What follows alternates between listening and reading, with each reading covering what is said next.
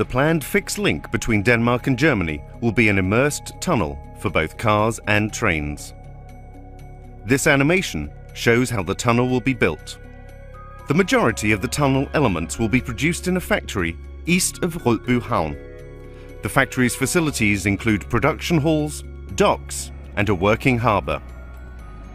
The halls, where the reinforcing modules will be prepared, are marked in red.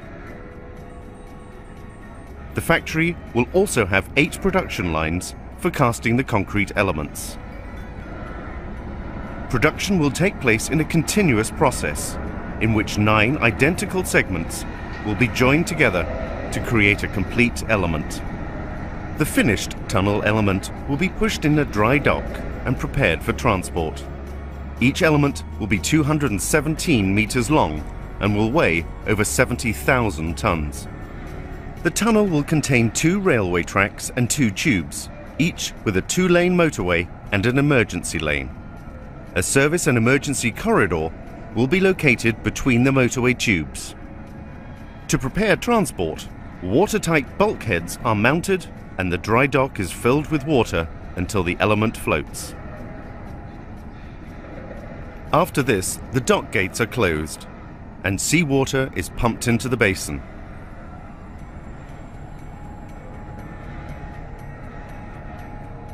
Now the floating tunnel element will be towed to the deep section of the basin. The water level in the basin is then lowered to match the level of the harbour. The dock gates are opened and the element can be towed out. The element is tugged to a holding area near the location where it will be immersed. It will then be immersed in a trench that has been excavated in advance while the element was being constructed. Dredging will be carried out by specialised dredgers to ensure a precise and smooth base in the tunnel trench. Dredging methods have been selected to minimise sediment spill and limit the impact on the surroundings and the environment. The dredged material will be transported on barges to designated landfill areas along the coast, primarily on the Danish side. In the holding area near the trench, the tunnel element will be hooked up to floating pontoons then the element will be towed to its immersion site.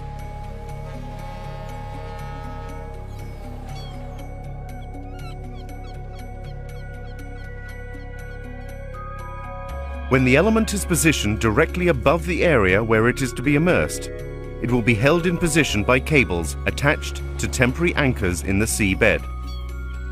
The tunnel element is now ready to be lowered onto a gravel bed foundation that has previously been laid in the tunnel trench. Ballast tanks that have been fitted to the element are gradually filled with water to sink it.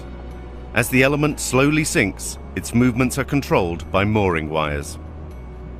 The new tunnel element is connected to the prior element. Next, water is pumped out between the bulkheads and the water pressure on the opposite, free end of the element will force the elements closer together creating a watertight seal. The trench on both sides of the element is now backfilled with a layer of gravel to keep it in position. Then a layer of sand and a protective layer of stones are placed on top. Finally, the seabed is restored. The fixed link across the Femern Belt is expected to be finished in 2020. With its 17.6 kilometres, it will be the world's longest immersed combined road and train tunnel.